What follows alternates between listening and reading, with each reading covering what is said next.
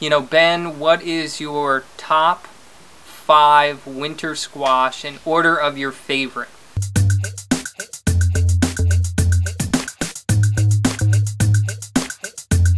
So we're hanging out outside today. It's a, you know, a beautiful day out. Got all this beautiful squash in front of me. And so today, what I wanted to do was talk about the squash. And what a better time to talk about it than while I'm doing the mono cleanse. So I'm doing a 28 day mono cleanse where all I ate for the 28 days was squash during the day and then at night I'd have Brussels sprouts or asparagus. And that's what this consisted of for 28 days straight. If you want to know more about this cleanse, you can find it in Anthony Williams' Cleanse to Heal book, page 202. He breaks the whole cleanse down and how to do it. It's super simple, it's super easy, anybody can do it. And if you want to do it for three days, you can do it for three days. If you want to do it for a week, you can do it for a week. And it's not like I'm just eating squash, asparagus, and Brussels sprouts. I start my morning just like every morning. I have my lemon water, I do my celery juice, and then I switch over to my squash. And then throughout the day, I'm still having my lemon honey water and lemon waters. And then at night, I'll switch over to the asparagus or the Brussels sprouts. And I'll do another video on this going into detail on my results. And we've done a lot of liver cleansing and we've done a lot of liver cleansing videos. So if you haven't seen those videos already, go check those out. But this cleanse is different than the liver cleanse because the liver cleanse is just focused on the liver where this is focused on the whole body. So today what I thought I would do is walk you through all the different squash that I've been eating on this cleanse and then I even want to break down like my top five. So if you guys aren't doing this cleanse and just want to know the, the best squash out there or maybe you're a, a grower and you want to grow some squash for next season and you're wondering, well, what seed should I get? This video will break down my top five squash. So one thing Anthony says is if, if you're trying to do this cleanse off season, or maybe you just don't have access to winter squash during the winter, then uh, you can get frozen squash and that'll work just fine. But because, you know, we're here in California, we have access to a ton of different winter squash. We went to the farmer's market we picked up all of this squash that you see in front of me here. So let's talk about some of this squash. So everybody knows the butternut squash. I mean, this is commonly available everywhere. You can probably pick this up in the grocery stores. We ate a lot of this. This is a favorite. But this year, I found this one.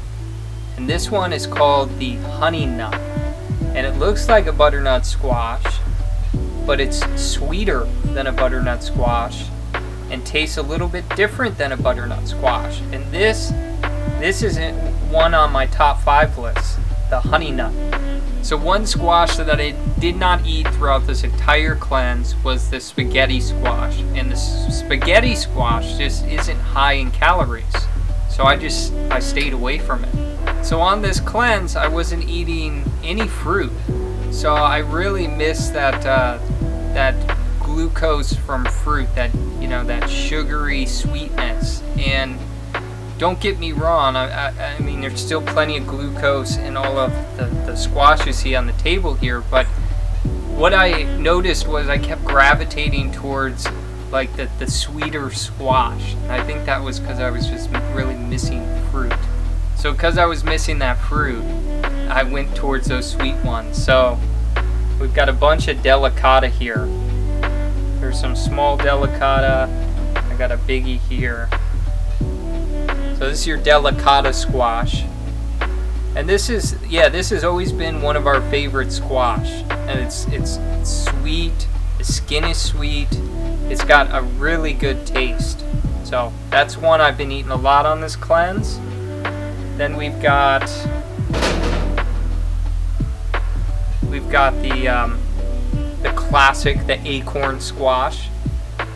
And Anthony's got some good recipes on the acorn squash. You basically cut this in half and just put it right in the oven and then take some maple syrup and some pecans and sprinkle the, the pecans and then the maple syrup on it and then you just you eat it you know you eat it whole you don't chop it up or anything so that's another sweet one the other one I don't have on this table is a sweet dumpling and it the skin reminds me of a, a delicata but uh, the shape of it is more like the um, the acorn squash so imagine an acorn squash with this uh, this delicata skin, and that's a sweet dumpling, and that's another sweet one. All right, the next one here is the kabocha squash.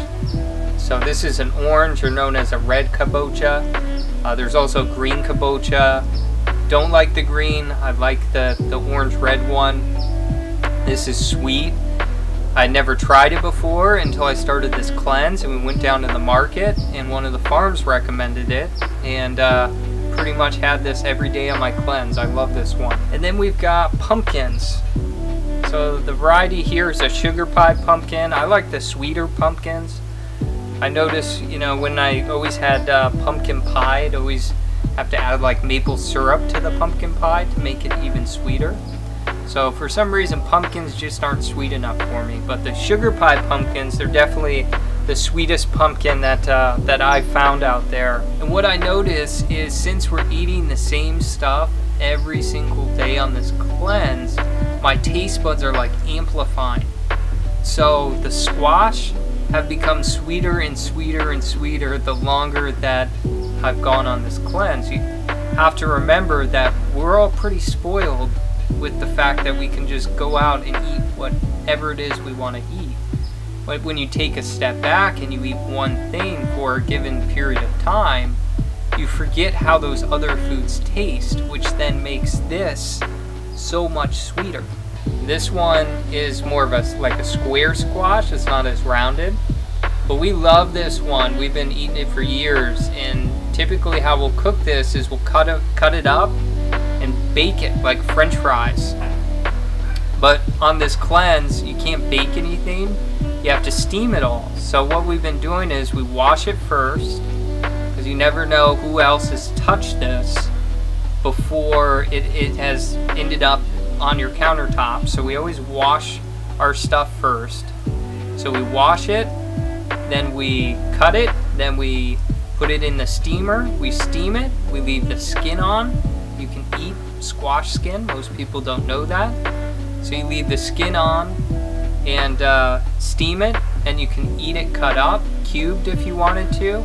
But what I've been doing is I've just been blending my squash so it looks like this. And then I just got a spoon and then I just eat it mashed.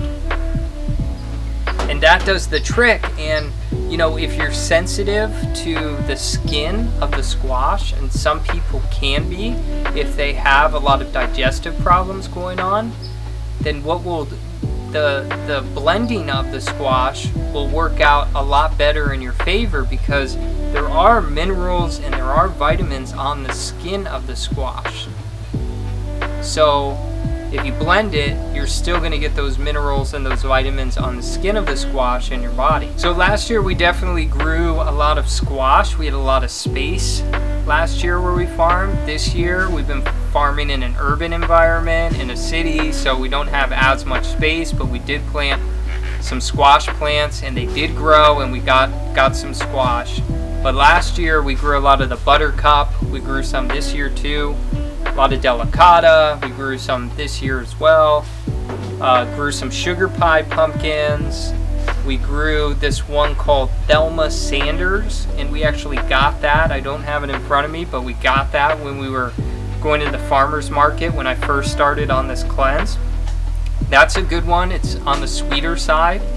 So if you ever come across a Thelma Sanders, be sure to pick one up and try it. If you don't have them where you are, grow it.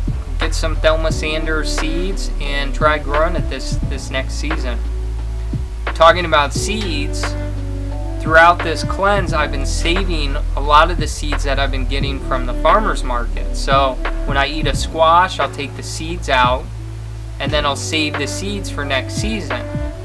And what I'm doing at the market is I'm talking to these farmers and I'm asking them how they're growing their crops. So then I know if I want to save the seeds, I know there was no toxic chemicals being sprayed on the farm or synthetic chemicals or synthetic fertilizers.